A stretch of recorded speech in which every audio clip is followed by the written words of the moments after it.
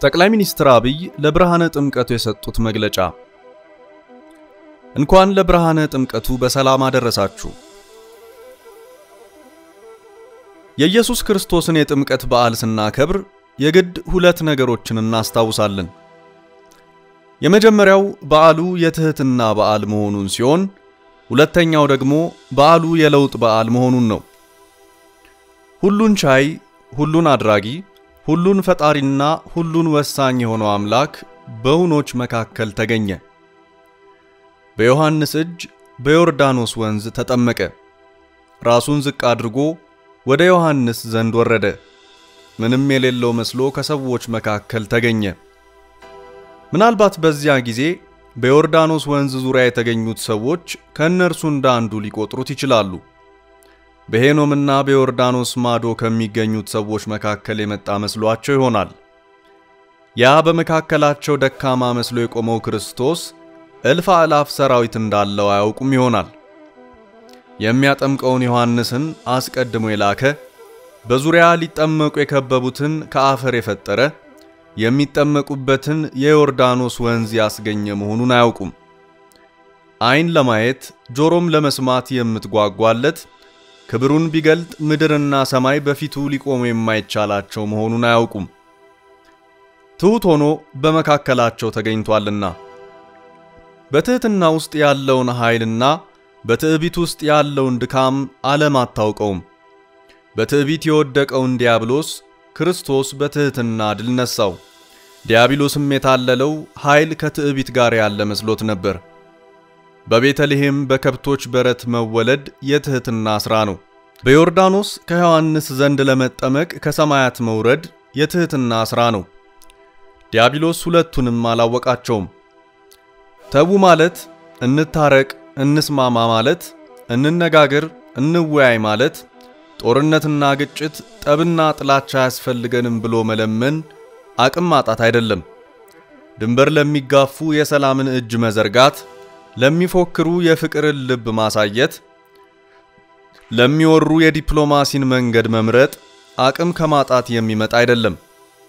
የኃያልነት ምልክቱ ትሕትናና ትዕግስት ስለሆነ እንጂ። የትሕትና ገመድ የመጨረሻዋ ቋጥሮ ብርቱ ክንድ ናት። ከተሰነዘረች ሳታደቅ አትመለስም።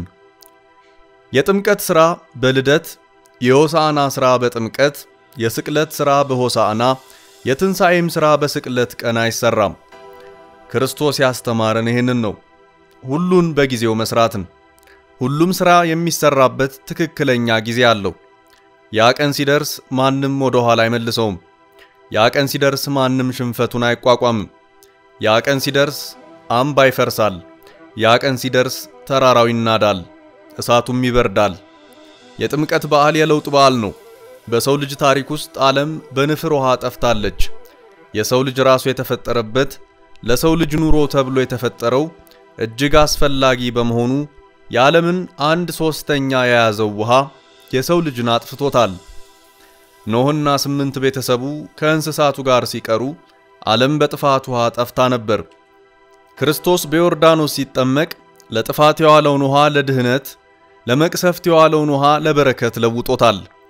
የውሃውን ተፈጥሮ ሳይሆን የውሃውን አገልግሎት፣ የውሃውን ታሪክ ነበር የለወጠው።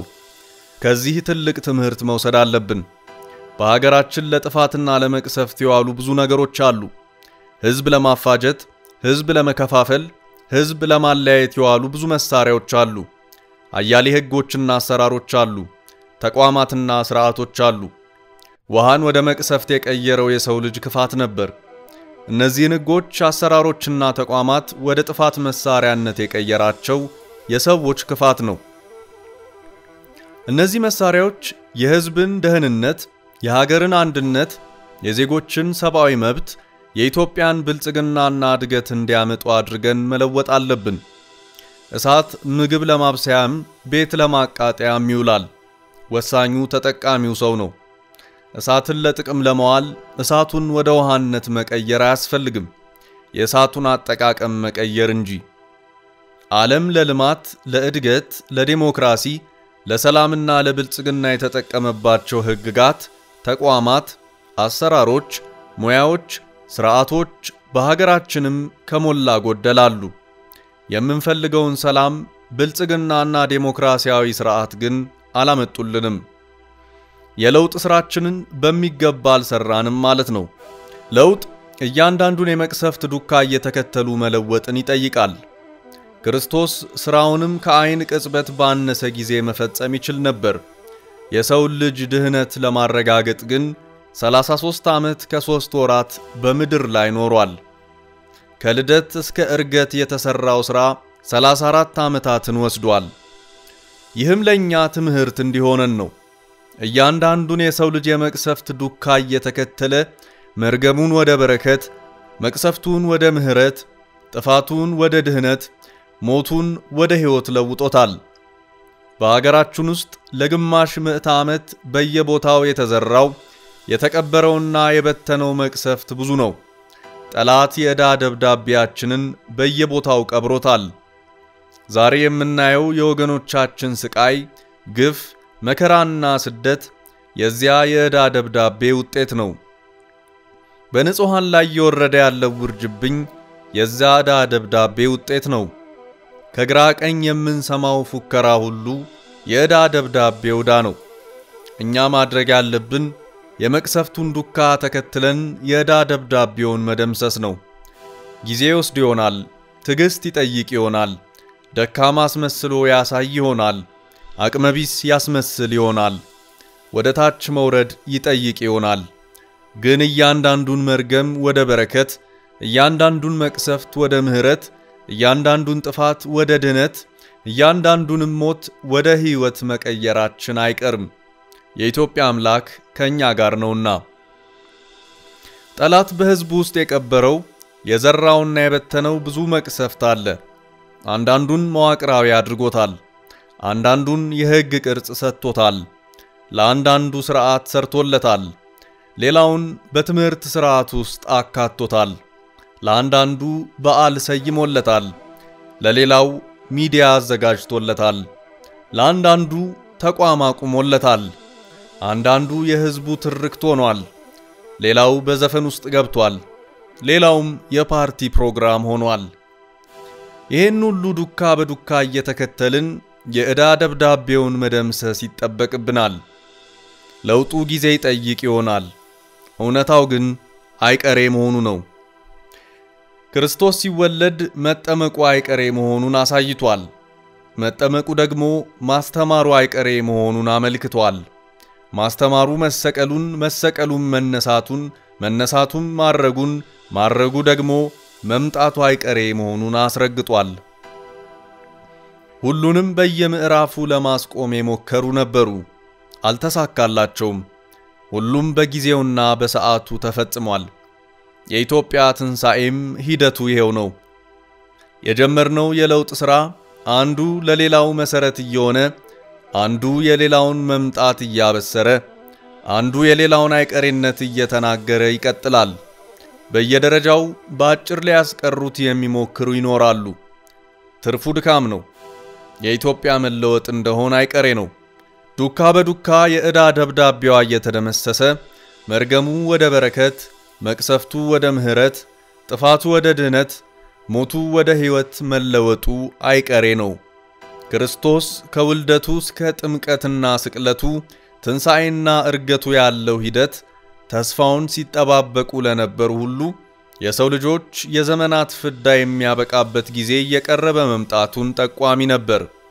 በእያንዳንዱ ምዕራፍ ውስጥ ክርስቶስ የፈጸማቸው ተግባራት የአዳምን ዘር የመዳን ተስፋ ያለመለሙና ጠላት ዲያብሎስን ያሸነፉለት በመሆናቸው ለሰዎች ልጆች ሁሉ ትልቅ ብስራት ናቸው። ታላቅ ደስታም አስገኝተዋል። ኢትዮጵያችን የዘመናት ፈታኞቿ ከጊዜ ወደ ጊዜ እየተሸነፉና ብሩህ ተስፋዋ እየበዛላት በመሆኑ ሁላችንም እንደሰታለን። ለዚያ ደስታ ስለታጨን በእርግጥም ሐሴት ማድረግ ይገባናል። ነገር ግን ለታላቅ ደስታ የታጨ ሁሉ እስከ መጨረሻው በጽናት ይጓዛል፣ ድልን ይጎናጸፋል ማለት አይደለም። በክርስቶስ የማዳን መንገድ የአዳም ዘር በሞላ ለደስታ ቢታጭም እንደ ይሁዳ ያሉት በመንገዱ ተሸንፈው ስለወደቁ የድሉ ባለቤት አልሆኑም። ስለዚህ የተስፋ መንገዳችን በስኬት እንዲቋጭ ዛሬም ሆነ ነገ ፈተናውን በድል መወጣት ይኖርብናል። በየመንገዳችን የሚገጥሙን ፈተናዎች ወደ ተስፋ መሻገሪያ በሮቻችን ናቸው። ጥምቀቱና ስቅለቱ ለክርስቲያናዊው የቅድስና ጉዞ የመዳን በሮች እንደሆኑት ሁሉ እንደ ሀገር ለምናደርገው የዲሞክራሲ ጉዞ ከፊታችን የሚጠብቀን ምርጫ በድል ከተወጣ ነው አንዱ የተስፋ በራችን መሆኑ አይቀርም። ስለዚህ ሁላችንም ጥሩ ዝግጅት አድርገንና መንፈሳችንን አጽንተን በድል ልንሻገረው ይገባል። ሌላው በዓለ ጥምቀቱን ስናከብር ቅንነትን ተላብሰን በልዩ ልዩ አጋጣሚዎች የተጎዱ ወገኖቻችንን በቸርነት ዓይናችን እያየን የተቸገሩትን በድጋፍ እጃችን እየጎበኘን ለመልካም ለውጥ ሳንሰንፍ ከብልጽግና ጉዞአችን ሳንደናቀፍ የወቅቱን የኮቪድ-19 ስርጭት ችላ ሳንል ልናከብረው ይገባል። በአውሮፓና የአሜሪካ ሀገራት የኮሮና ወረርሽኝ ክትባት መጀመራቸው ይታወቃል። እኛ ክትባቱን እስክንጀምር ለጊዜው ያለን አማራጭ መከላከል ብቻ ነው። በእስከ ዛሬው የጥንቃቄ ዘዴዎቻችን አማካይነት ራሳችንን ከወረርሽኙ እየጠበቅን በፊታችን የሚፈነጥቀውን የተስፋ ጮራ አብረን ለማየት ያብቃን እላለሁ። በድጋሚ መልካም የከተራና የጥምቀት በዓል እንዲሆን እመኛለሁ።